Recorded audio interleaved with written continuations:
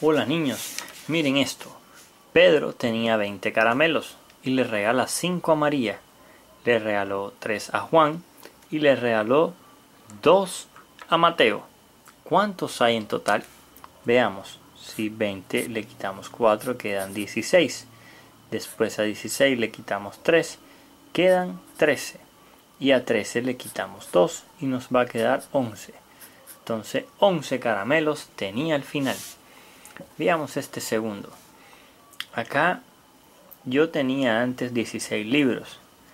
Le presté 5 a mi tío, 3 a mi prima y 1 a mi hermano. ¿Con cuántos libros me quedé? Ah, 16 menos 5 restamos y nos da 11.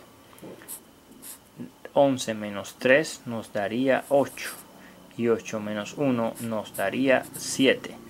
Respuesta es igual a 7 libros. Con eso me quedé niños, porque presté los otros. Veamos otros dos ejemplos.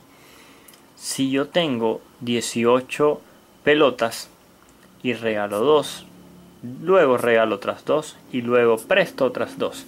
¿Cuántas tengo en ese momento? 18 menos 2 es 16.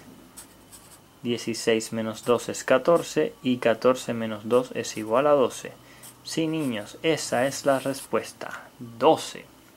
Esta es otra forma de hacerlo, siempre de izquierda a derecha. Veamos otros dos ejemplos y después les dejaré una tarea. Si tengo 60 córdobas o el dinero de su país, le resto 10, me quedan 50. Es 50.